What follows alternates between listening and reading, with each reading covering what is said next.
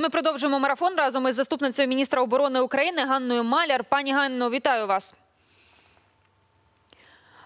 Міністерство оборони Російської Федерації повідомило про те, що окупанти захопили лиман.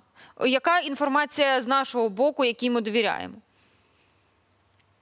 Ми наполегливо радимо вірити тільки інформації, яка подається Генеральним штабом збройних сил України або Міністерством оборони України, тому що на сьогодні інформація це теж зброя, і для піднесення е, морального духу російських військ і російського суспільства.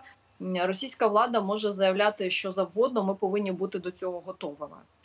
Станом на зараз е, там тривають е, запеклі бої, і е, до тих пір, поки не завершується е, певний етап е, ну, боїв і операції, некоректно говорити про якісь остаточні результати і, про робити якісь висновки, тому що в процесі боїв певна частина там певного населеного пункту може знаходитись тимчасово під контролем однієї сторони. Потім це ж іде бій. Потім може навпаки змінюватися ця ситуація, і тому е, ще зарано робити остаточні висновки. Але однозначно можна сказати, що ситуація дійсно складна. Це війна, противник сильний, і збройні сили України теж сильні, тому бої запеклі.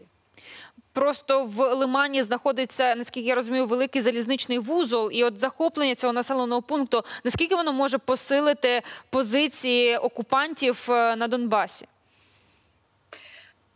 Е, Якщо розглядати фрагментарно, як намагаються дуже часто зараз це аналізувати, то можна дійсно робити якісь от такі висновки. Якщо дивитися е, повністю картину, скажімо, по е, сходу України і зважувати співвідношення сил російської армії, української і всіх факторів, які впливають на спроможність російської армії, то тоді не можна робити е, цей висновок тільки по одному населеному пункту, тому що факторів дуже багато.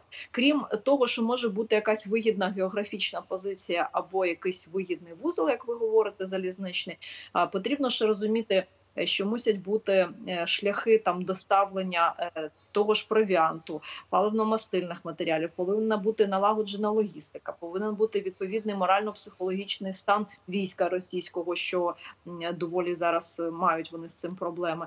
Тому е, це дуже комплексне питання, і міряти тільки одним лиманом їхню спроможність не варто.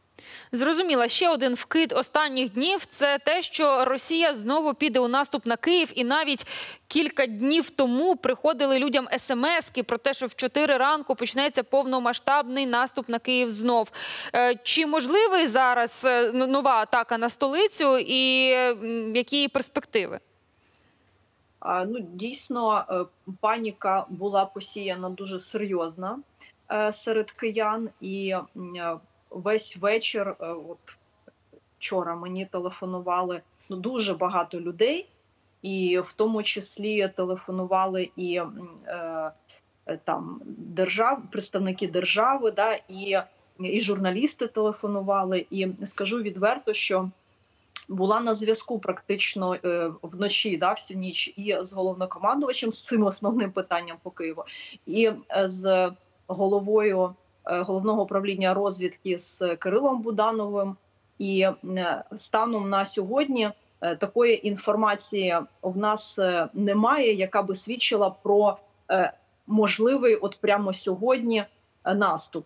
Але ми повинні розуміти, що загроза е, і Києву, і всій території України є постійно, тому що у нас війна. Це по-перше.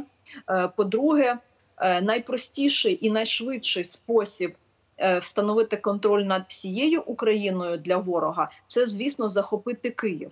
Тому ми повинні розуміти, що ці ризики є постійно. Але те, що нагнітається і створюються такі панічні хвилі, е, з великою ймовірністю це може бути вигідно ворогу, і навіть вони в тестовому режимі можуть запускати таку інформацію.